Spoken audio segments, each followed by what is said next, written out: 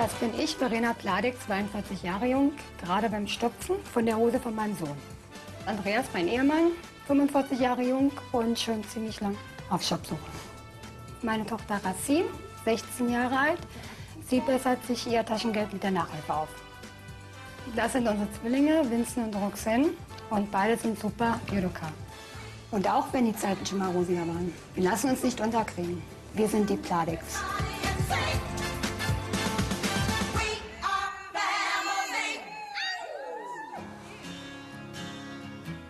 Im Berliner Stadtteil Spandau wohnt die Familie Pladek in einer Neubausiedlung auf 135 Quadratmetern. Hausfrau Verena ist meist den ganzen Tag zu Hause. Genau wie ihr Mann. Andreas ist arbeitslos. Der Hartz-IV-Empfänger sitzt wie so oft am Computer und schreibt Bewerbungen. Was machst du denn jetzt gerade hier? Ich gucke jetzt gerade mal die E-Mails nach, ob äh, ich Antworten bekommen habe auf die Bewerbung. Und wenn ich die jetzt nicht bekommen habe, rufe ich dir bei der Firma nochmal an und guck mal nach. Also, was- Kannst du bitte den Müll runterbringen? Der steht schon vorne am Eingang. ja, mach ich gleich. Ich mache da kurz der Verlängerung runter. Mann ist gleich. Wenn ich nachgeguckt habe, okay, bevor ich telefoniere. Ja? Ja, bitte bevor die Kinder aus der Schule kommen. Ja, auf alle Fälle.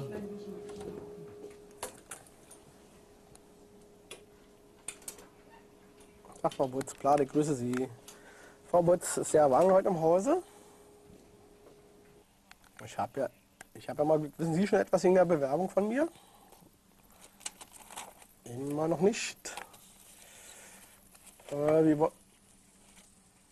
das, das haben mir letztes Mal schon erzählt und dann habe ich ihn ja probiert zu bekommen, aber dann haben wir ihn ja immer noch nicht bekommen.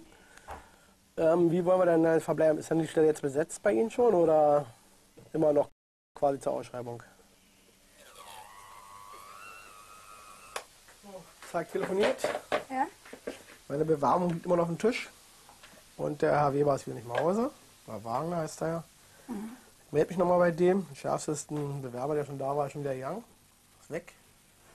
Oh ja, gut. Toll war. Gut, okay. Dann bring du jetzt den Müll runter, damit der endlich weg ist. Und guck mal bitte bei den Kindern, nicht, dass da ihre ganzen... Weil die haben schon hier Müll Ach, nach haben vorne die schon alle gestellt. Haben wir alles vorne? nach vorne gestellt, haben wir nicht mitgenommen. Und den Katzenmüll bitte auch. Ja, der steht schon vorne. Ach, der steht auch schon vorne. Super. Alles schon da. Und dann gucken wir, ob Post ist und... Ja. Ja, okay. Und verquatsch dich nicht wieder da unten mit Gerd, unserem Hausmeister. Ja, ja. Super.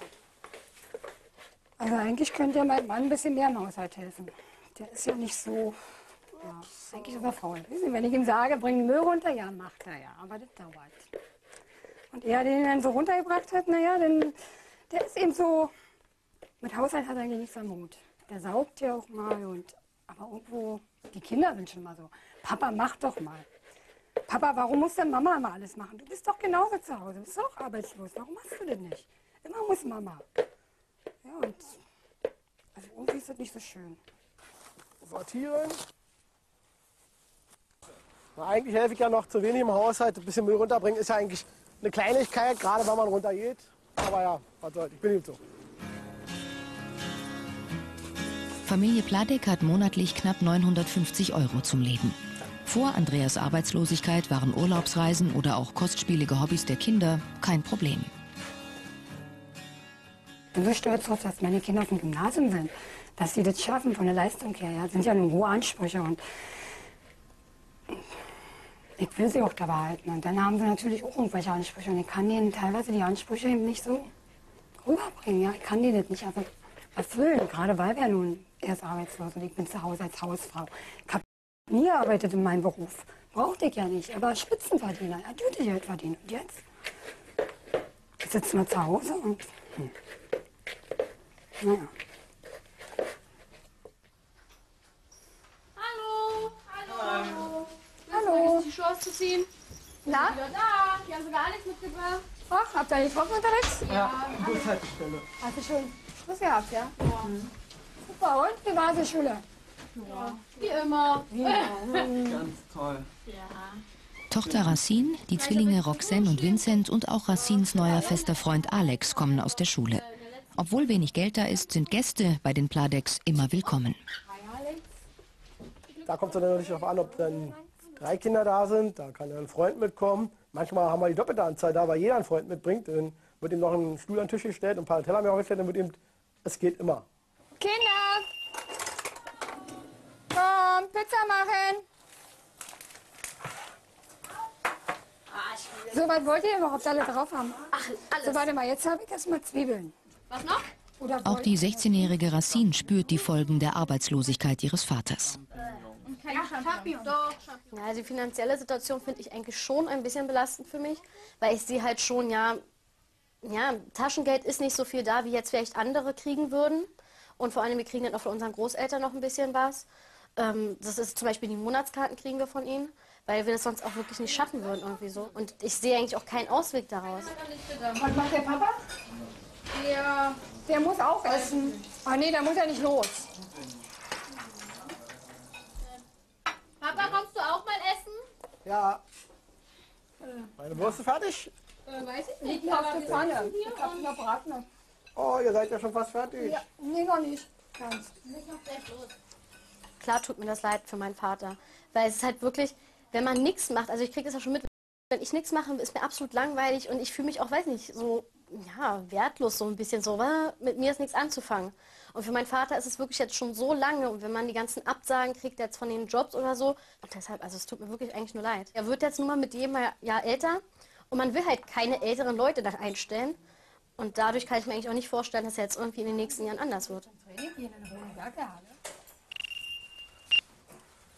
Andreas Pladek ist gelernter Zimmermann und hat in den letzten fünf Jahren mehrmals den Job verloren.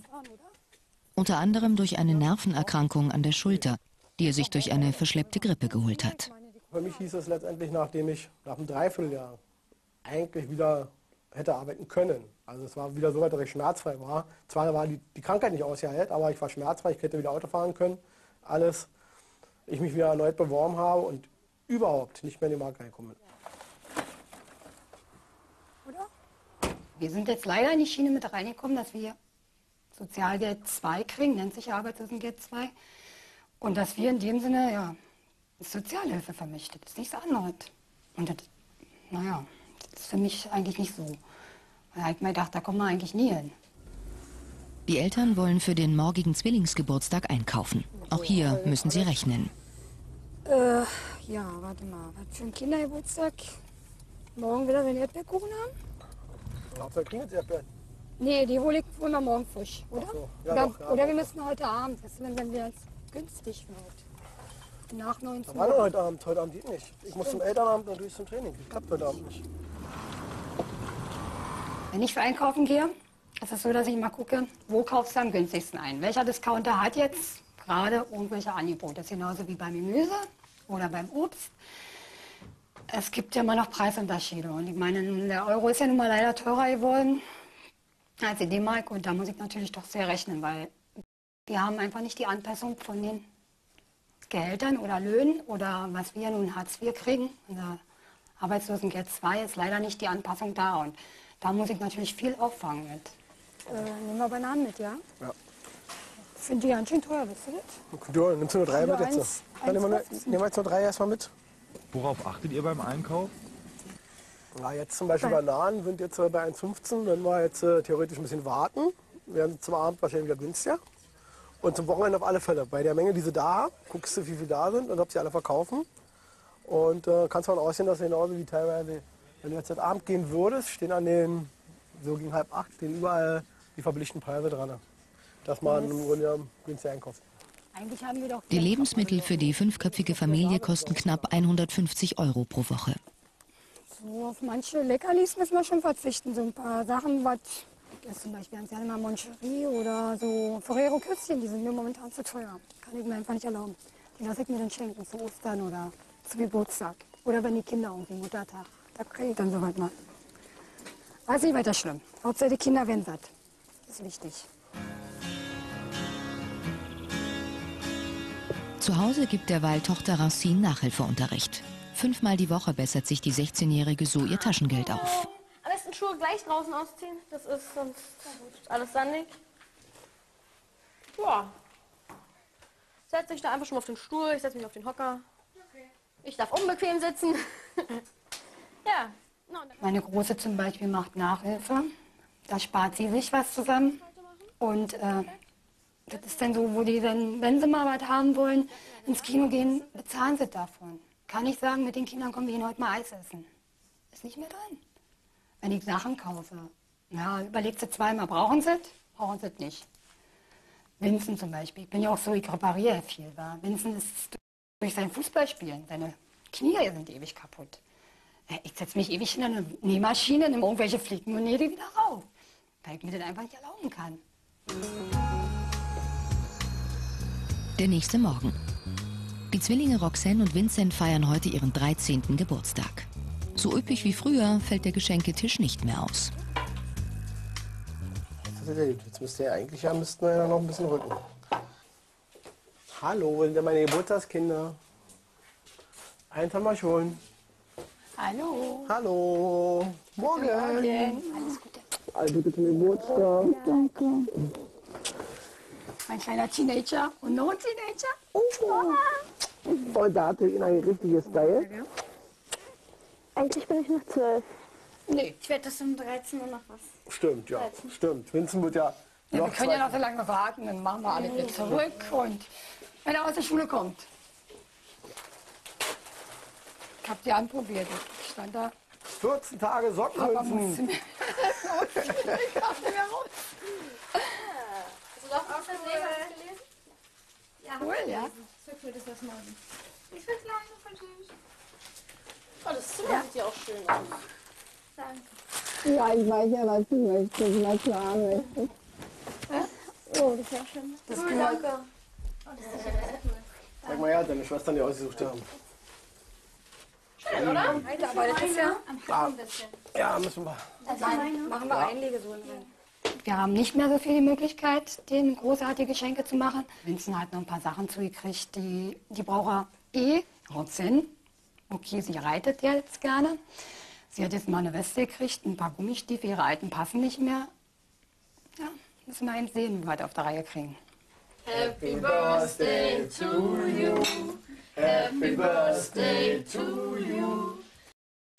Happy Birthday, Die Roxanne und Vincent. Ja, Happy Birthday to you. Heißt nicht euch. Euch aber wie Aber das müssen wir ja zweimal singen. Richtig. Wenn ich die Zukunft meiner Kinder sehe und da Verena jetzt sehe, die wirklich als, äh, da passt das Wort Familienmanagerin, hier alles managt. Wenn ich die Frau nicht hätte, dann wäre die Familie so nicht, wie sie jetzt ist. Die also im Grunde den Kindern das Gefühl gibt, dass wir hier alles noch im Griff haben. Es ist schwer, es geht aber noch. Es wird also hier spart, da spart, man probiert Gelder zu schieben, wann ist was wichtig. Es darf sich bloß nicht so weit, dass die Familie sich grad, äh, arg verschuldet. Nein, wir haben Familie, das wir schon mal gesehen. Okay, nein, wir gehen jetzt schon mal. Tschüss. Viel Spaß! Ja, auf die neuen. Dann ciao. Neben der finanziellen Belastung beschäftigt die Pladex noch ein weiteres Problem. Äh, Butzi, Seit acht Jahren haben sie immer wieder Schimmel an Decken und Wänden. kommst du mal? Besonders betroffen ist das Zimmer von Tochter Racine. Eine Klage gegen die Hausverwaltung läuft bereits. Den Text. Die Kinder eigentlich. Du sag mal, was machen wir jetzt da oben eigentlich? Ja, solange das Gutachten nicht da ist, äh, nochmal Ja, aber kann man ja irgendwie mal abmachen mit der Tapete? Vielleicht jetzt wirklich Tapete runter. Gutachter, Gutachter Ist ja da. hat er gesagt, wir können jetzt theoretisch ja irgendwie mit Essig oder können wir behandeln. Hat er gesagt, nicht? Der Gutachter.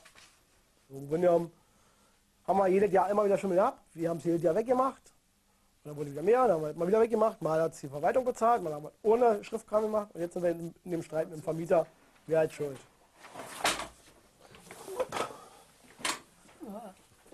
Ja, und im Rollen und da nichts. Wie sieht das da drunter aus? Ich meine, trock, also, es Äh, trocknet doch eigentlich. Ich es trotzdem abziehen. Das ist genau da lose, rumlose und hier dran, wo man, das wird ja noch fest. Das, ja. Mir liegt es am Herzen wegen meiner großen Tochter, weil sie Allergikerin ist. Und sie hat Schimmelsporen, wo sie allergisch darauf reagiert. Ob es nun diese Schimmelsporen sind, das weiß ich nicht. Und das natürlich, da möchte ich schon, dass man da irgendwie ein bisschen was macht. Dass wir zumindest mal renovieren können, dass da endlich was passiert. Also das Risiko möchte ich nicht unbedingt eingehen, dass wir jetzt hier irgendwas falsch machen, die wieder einen Aufhänger haben. Also lieber, jetzt haben wir so lange warten müssen, jetzt können wir glaube ich noch mal 14 Tage warten. Länger dürfte es ja nicht mehr dauern. Dann haben wir ja, Ja, aber Gutachten sollte schon da sein, ne? ist ja fertig, muss ja Versicherung bloß bezahlen. Und was ist jetzt mit dem Gericht? Dann müssen wir was mit dem Gericht, oder? Wenn das Gutachten aussagt, wir sind unschuldig, dann, dann, dann mache ich das schon, fang an. Dann mache ich es ab und dann würde die Richter ja sagen, ist mir gut, das muss gemacht werden, wir haben recht. Dann machen wir es nochmal neu, dann ist es mit dir ja. Was ist Was, man ja, was er sagt, ich werde es ja sehen, was er jetzt jetzt rufst sagt. du wirklich den Anwalt an, ja? Ja, jetzt gleich, wenn's, ich vergesse der uns wieder. Also gleich. Und dann haben wir es erledigt. Kannst gleich dabei bleiben, dann wollte ich nicht doppelt machen. Ich wollte mal nachfragen in unserer Angelegenheit mit unserem Vermieter. Jetzt mal äh, ad hoc äh, eventuell ein paar Tapeten abmachen, weil da der Schimmel darf den Schimmel ein bisschen wegwischen. Ob das okay wäre, wenn wir es jetzt, nachdem das Gutachten geschrieben ist, schon machen würden, ohne uns da, sag ich mal, schlechte Karten zu geben. Wir bekommen gesagt, ähm, Schuld an dem Schimmel haben wir. Wir vertreten die Meinung, es sind Baumängel. Zudem hat es ja letztendlich schon einen Rechtsstreit gegeben mit richterlichen Gutachten, wo wir jetzt letztendlich noch warten, was kommt bei den Gutachten raus. Danke, tschüss. Also, Sie haben es nochmal angemahnt bei der Versicherung. Die war ja ehrlich, die haben es noch nicht bearbeitet gehabt. Die Bearbeiterin ist im Urlaub, die kommt aber wieder und bis Donnerstag ist erneute Terminvorlage. Anwalt ist nicht, dann rufe ich ja nochmal an. Wenn der sagt, wir können Tapete abmachen, machen wir es ab.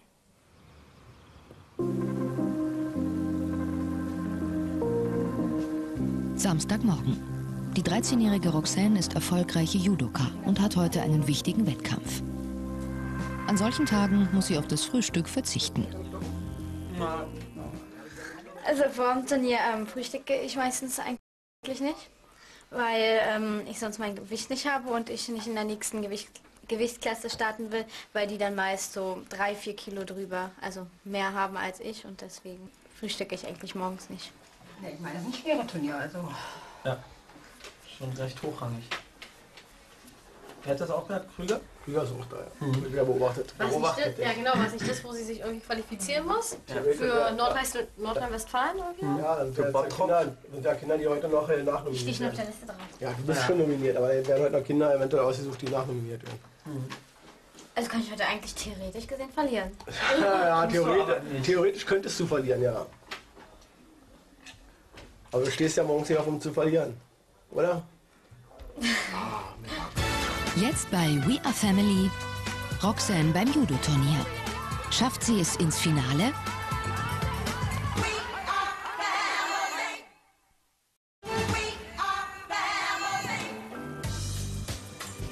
Im fünften Stock einer Neubausiedlung in Berlin-Spandau wohnen die Pladecks. Die fünfköpfige Familie lebt von Hartz IV. Heute hat Tochter Roxanne ein wichtiges Judo-Turnier. Roxanne ist ja eben diejenige, woher sie den Ehrgeiz hat, weiß ich nicht. Aber ähm, erfüllt ihn schon mit Stolz zu sehen, wie sie es macht. Sie geht nämlich wirklich an die Sache ran und sie hat ein Ziel. Sie will dahin. Teilnahme an Olympia. Das geht erst 2014, glaube ich, im Grunde genommen, wenn sie das Alter hat. Da muss man mal sehen. Aber äh, was sie erreicht hat schon. Sie ist jetzt im fünften Jahr hintereinander Berliner Meisterin. Sie ist nordostdeutsche Meisterin. Sie ist Bremer Meisterin. Sie ist World Junior Game Meisterin, wenn man so möchte. Also sie hat unheimlich viel schon erreicht für sich. Ist aber in sich selber unheimlich bescheiden geblieben. Die vielen Fahrten zum Training und zu den Wettkämpfen belasten die Haushaltskasse zusätzlich.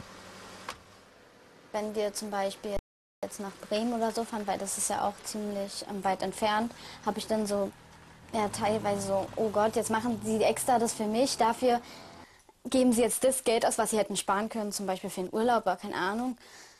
Aber also ich probiere es auch so ein bisschen wieder damit rauszuhauen, wenn ich jetzt zum Beispiel gewinne oder so und dass sie dann auf mich stolz sind und ja.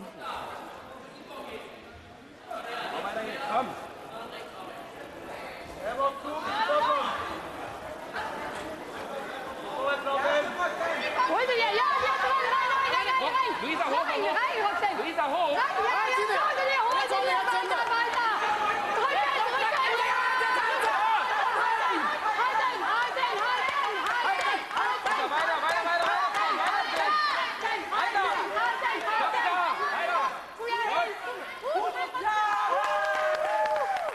Und Meine Familie ist eigentlich die größte Hilfe, weil sie einfach immer da ist. Sie kommt mir zu Turnieren, sie unterstützt mich da. Selbst wenn ich jetzt verlieren würde, dann ist sie einfach für mich da, nimmt mich in den Arm, tröstet mich oder feuert mich an. Also ist eigentlich immer für mich da. Komm, nimm mal einen Schluck für die Lippen. Schön den Griff Aber ich will jetzt nicht gleich nochmal kämpfen. Ich habe noch Oh nein, du hast, nein, nein, du hast jetzt das nach Hause. Wer nicht erst die Trostrunden Der ist so, glaube ich, auch die erste Totrunde kommt trotzdem. Du hast ganz viel Zeit, du kannst dich ausruhen. Aber trink mal einen Schluck. Nur mal ein bisschen die Lippen befeuchten. Nur ein bisschen doch, nur mal machen. Ganz wenig nur, nur die Lippen machen. Sie kriegt jetzt nächstes Mal wieder weiß, wa? Ja, ich muss noch mal gucken, hier, Nur der ein Kampf ist bisschen ja die so. Gegnerin jetzt. Jetzt sieht man natürlich den Erfolg bei den Kindern. Man zerrt natürlich schon davon ein bisschen. Wenn man mitgeht und man spricht mit anderen Eltern und du merkst die Anerkennung, die da ist. Die geht ja einerseits der Sportlerin sicherlich, aber du kriegst sie doch als Eltern mit, diese Anerkennung. Und das wiegt schon ein bisschen auf. Und im Großen und Ganzen ähm, bin ich natürlich froh, dass er solche Sachen macht. Aber es ist auch irgendwo eine Belastung letztendlich. Die Belastung deshalb, weil das ganze Familienleben ist ja der Hauptaugenmerk ist momentan Judo von den Kindern. Roxanne hat es geschafft. Sie steht im Finale des Turniers. Der Sieg in der Gewichtsklasse bis 48 Kilogramm ist zum Greifen nah.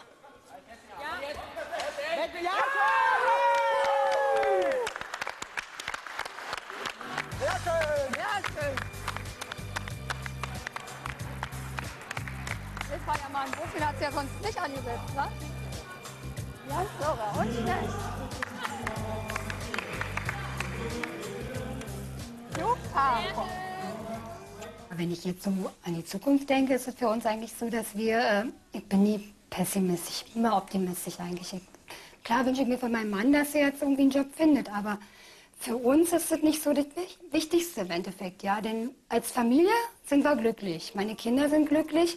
Ich merke, die sind nicht traurig, die lachen alle, die können ihre Freunde einladen, alles. Und ähm, wir verstehen uns. Also unsere Ehe ist intakt, was ja auch sehr wichtig ist in der heutigen Zeit, wo ja viele Kinder auch in verrütteten Ehen, Familien überhaupt leben. Und das ist für mich eigentlich das Wichtigste, dass wir einfach eine glückliche Familie sind.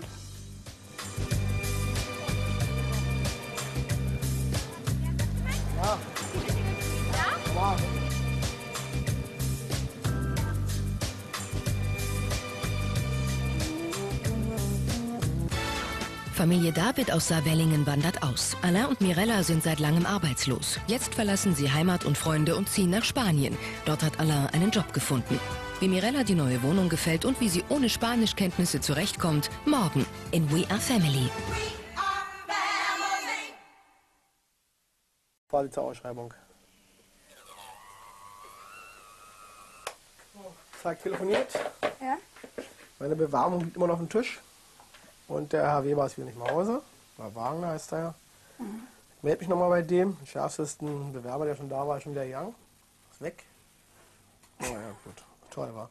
Gut, okay. Dann bring du jetzt den Müll runter, damit der endlich weg ist. Und guck mal bitte bei den Kindern, nicht, dass da ihre ganzen... Nein, die haben schon Müll Ach, haben vorne die schon alle gestellt. Haben wir alles vorne? nach vorne gestellt, haben wir nicht mitgenommen. Und die Katzenmüll bitte auch. Ja, der steht schon vorne. Ach, der steht auch schon vorne. Alles schon da. Und dann guck mal, ob Post ist und... Ja. Ja, okay. Und verquatsch dich nicht wieder da unten mit Gerd, unserem Hausmeister. Ja, ja. Super. Also eigentlich könnte ja mein Mann ein bisschen mehr im Haushalt helfen. Der ist ja nicht so... Ja, eigentlich ist er faul. Wenn ich ihm sage, bring Müll runter, ja, macht er ja. Aber das dauert.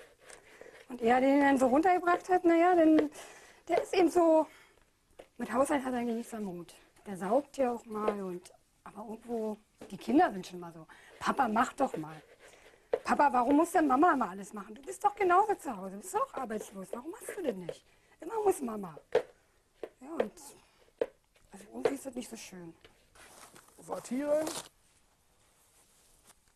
Na, eigentlich helfe ich ja noch zu wenig im Haushalt. Ein bisschen Müll runterbringen ist ja eigentlich eine Kleinigkeit, gerade wenn man runtergeht. Aber ja, was soll's. Ich bin eben so. Familie Pladek hat monatlich knapp 950 Euro zum Leben. Vor Andreas Arbeitslosigkeit waren Urlaubsreisen oder auch kostspielige Hobbys der Kinder kein Problem. Ich bin so stolz darauf, dass meine Kinder auf dem Gymnasium sind. Dass sie das schaffen von der Leistung her. Ja, das sind ja nur hohe Ansprüche. Und ich will sie auch dabei halten. Und dann haben sie natürlich auch irgendwelche Ansprüche. Und ich kann denen teilweise die Ansprüche eben nicht so rüberbringen. Ja, ich kann denen das nicht also erfüllen. Gerade weil wir nun erst arbeitslos und ich bin zu Hause als Hausfrau. Nie gearbeitet in meinem Beruf. Brauchte ich ja nicht. Aber Spitzenverdiener, ja, dürfte Geld verdienen. Und jetzt? Jetzt sitzen wir zu Hause und. Hm. Naja. Hallo. Hallo. Hallo. Die Schuhe auszuziehen. Na? Wieder da. Die haben so gar nichts mitgebracht. Ach, habt ihr getroffen unterwegs? Ja, Bushaltestelle. Hast du schon Schluss gehabt, ja? Super, und wie war die Schule? Wie immer. Ganz toll. Tochter Racine, die Zwillinge Roxanne und Vincent und auch Racines neuer fester Freund Alex kommen aus der Schule. Obwohl wenig Geld da ist, sind Gäste bei den Pladex immer willkommen. Da kommt es dann natürlich darauf an, ob dann drei Kinder da sind. Da kann ein Freund mitkommen. Manchmal haben wir die doppelte Anzahl da, weil jeder einen Freund mitbringt. Dann wird ihm noch ein Stuhl an den Tisch gestellt und ein paar Teller mehr aufgestellt. Dann wird ihm, es geht immer. Kinder! Pizza machen! So, was wollt ihr überhaupt alle drauf haben? Ach, alles. So, warte mal, jetzt habe ich erstmal Zwiebeln. Was noch? Oder Auch die 16-jährige Racine spürt die Folgen der Arbeitslosigkeit ihres Vaters. Nie arbeitet in meinem Beruf. Brauchte ich ja nicht. Er war Spitzenverdiener. Er gute Geld verdient. Und jetzt? Jetzt sitzt man zu Hause und. Hm. Naja. Hallo. Hallo. Hallo. Die Schuhe auszuziehen. Na? Wieder da. Die haben so gar nichts mitgebracht. Ach, habt ihr getroffen unterwegs? Ja, Bushaltestelle. Hast du schon Schluss gehabt, ja? Super, und wie war die Schule? Wie immer. Ganz toll. Tochter Racine, die Zwillinge Roxanne und Vincent und auch Racines neuer fester Freund Alex kommen aus der Schule. Obwohl wenig Geld da ist, sind Gäste bei den Pladex immer willkommen. Da kommt es dann natürlich darauf an, ob dann drei Kinder da sind. Da kann dann ein Freund mitkommen. Manchmal haben wir die doppelte Anzahl da, weil jeder einen Freund mitbringt. Dann wird ihm noch ein Stuhl an den Tisch gestellt und ein paar Teller mehr aufgestellt. Dann wird ihm, es geht immer. Kinder! Komm, Pizza machen! So, was wollt ihr überhaupt alle drauf haben? Ach, alles. So, warte mal, jetzt habe ich erstmal Zwiebeln. Was noch? Oder Auch die 16-jährige Racine spürt die Folgen der Arbeitslosigkeit ihres Vaters. Kein Champignon. Wenn ich nichts mache, ist mir absolut langweilig und ich fühle mich auch, weiß nicht, so ja, wertlos so ein bisschen so, weil mit mir ist nichts anzufangen. Und für meinen Vater ist es wirklich jetzt schon so lange und wenn man die ganzen Absagen kriegt jetzt von den Jobs oder so und deshalb, also es tut mir wirklich eigentlich nur leid. Er wird jetzt nun mal mit jedem Jahr älter und man will halt keine älteren Leute da einstellen und dadurch kann ich mir eigentlich auch nicht vorstellen, dass er jetzt irgendwie in den nächsten Jahren anders wird. Andreas Pladek ist gelernter Zimmermann und hat in den letzten fünf Jahren mehrmals den Job verloren. Unter anderem durch eine Nervenerkrankung an der Schulter, die er sich durch eine verschleppte Grippe geholt hat. Für mich hieß es letztendlich, nachdem ich nach einem Dreivierteljahr eigentlich wieder hätte arbeiten können. Also es war wieder so weit, dass ich schmerzfrei war. Zwar war die, die Krankheit nicht ausgeheilt, aber ich war schmerzfrei, ich hätte wieder Auto fahren können. Alles.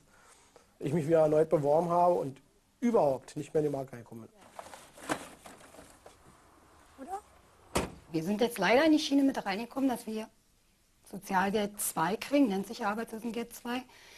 Und dass wir in dem Sinne, ja, Sozialhilfe vermischt. Das ist nichts anderes. Und das, naja, das ist für mich eigentlich nicht so. Da hab ich mir gedacht, da kommen wir eigentlich nie hin. Die Eltern wollen für den morgigen Zwillingsgeburtstag einkaufen. Auch hier müssen sie rechnen. Äh, ja, warte mal, was für ein Kindergeburtstag? Morgen wieder den Erdbeerkuchen haben? Hauptsache kriegen jetzt Erdbeeren. Nee, die hole ich morgen frisch, oder? so, ja oder, doch, ja, oder wir müssen heute Abend, ist, wenn, wenn wir jetzt günstig wird. Nach 19 Wann denn Uhr. heute Abend? Heute Abend geht nicht. Ich muss zum Elternabend und durch zum Training. Das klappt heute Abend nicht. Wenn ich für einkaufen gehe, ist es so, dass ich mal gucke, wo kaufst du am günstigsten ein? Welcher Discounter hat jetzt gerade irgendwelche Angebote? Das ist genauso wie beim Gemüse oder beim Obst. Es gibt ja immer noch Preisunterschiede. Und ich meine, der Euro ist ja nun mal leider teurer geworden als die D-Mark. Und da muss ich natürlich doch sehr rechnen, weil wir haben einfach nicht die Anpassung von den Gehältern oder Löhnen oder was wir nun Hartz IV kriegen. Unser Arbeitslosengeld 2 ist leider nicht die Anpassung da. Und da muss ich natürlich viel auffangen mit. Äh, nehmen wir Bananen mit, ja? Ja. Finde die ganz schön teuer, wisst ihr das? Du, nimmst du nur drei mit jetzt? eins- Dann nehmen wir, 1,50. nehmen wir jetzt nur drei erstmal mit. Worauf achtet ihr beim Einkauf? Ja, jetzt zum Beispiel Bananen sind jetzt äh, bei 1,15. Wenn wir jetzt äh, theoretisch ein bisschen warten, werden zum Abend wahrscheinlich wieder günstiger. Und zum Wochenende auf alle Fälle. Bei der Menge, die sie da haben, guckst du, wie viel da sind und ob sie alle verkaufen. Und äh, kannst davon ausgehen, dass genauso wie teilweise, wenn du jetzt heute Abend gehen würdest, stehen an den, so gegen halb acht, stehen überall die verblichten Preise dran. dass man im Grunde genommen günstig einkauft. Die Lebensmittel für die fünfköpfige Familie kosten knapp 150 Euro pro Woche. so auf manche Leckerlis müssen wir schon verzichten. So ein paar Sachen, was ist zum Beispiel ganz gerne mal Moncherie oder so Ferrero Küsschen, die sind mir momentan zu teuer. Kann ich mir einfach nicht erlauben. Die lasse ich mir dann schenken zu Ostern oder zu Geburtstag. Oder wenn die Kinder irgendwie Muttertag. Da kriege ich dann soweit mal. Ist nicht weiter schlimm. Hauptsache die Kinder werden satt. Das ist wichtig. Zu Hause gibt derweil Tochter Racine Nachhilfeunterricht. Fünfmal die Woche bessert sich die 16-Jährige so ihr Taschengeld auf. Am besten Schuhe gleich draußen ausziehen. Das ist sonst alles sandig. Ja. Setz dich da einfach schon mal auf den Stuhl. Ich setze mich auf den Hocker. Ich darf unbequem sitzen. ja. Meine Große zum Beispiel macht Nachhilfe. Da spart sie sich was zusammen. Und äh, das ist dann so, wo die dann, wenn sie mal was haben wollen, ins Kino gehen, bezahlen sie davon. Kann ich sagen, mit den Kindern kommen wir hin heute mal Eis essen. Ist nicht mehr drin. Wenn ich Sachen kaufe, ja, überlegt sie zweimal, brauchen sie es? Brauchen sie es nicht. Vincent zum Beispiel, ich bin ja auch so, ich repariere viel. Wa? Vincent ist durch sein Fußballspielen, seine Knie sind ewig kaputt. Ich setze mich ewig in eine Nähmaschine, nehme irgendwelche Flicken und nähe die wieder rauf. Weil ich mir das einfach nicht erlauben kann. Der nächste Morgen. Die Zwillinge Roxanne und Vincent feiern heute ihren 13. Geburtstag. So üppig wie früher fällt der Geschenketisch nicht mehr aus. Ja. Jetzt müsste ja eigentlich ja, müssten wir ja noch ein bisschen rücken. Hallo, sind denn meine Geburtstagskinder? Eins haben wir schon. Hallo. Hallo. Morgen. Alles Gute. Also guten Geburtstag. Danke. Mein kleiner Teenager und noch ein Teenager. Und da hatte ich ein richtiges Style. Eigentlich bin ich noch zwölf. Nee. Ich werde das um 13 Uhr noch was. Stimmt, ja. Stimmt. Vincent wird ja Ja, wir können ja noch so lange warten, dann machen wir alles wieder zurück. Und wenn er aus der Schule kommt. Ich hab die anprobiert. Ich stand da. 14 Tage mir. ich nicht mehr raus. Hast du doch aus der Nähe was gelesen? Ja, Cool, ja. So cool, das was morgen. Ich und voll süß. Oh, das Zimmer sieht ja auch schön aus. Danke. Ja, ich weiß ja, was du möchtest, na klar möchtest. Oh, das ist ja schön. Das cool, ist cool. danke. Sag mal, ja, deine Schwestern, die ausgesucht haben. Schön, oder? Aber das ist ja. Ja, ja müssen wir. Machen wir Einlegesohlen.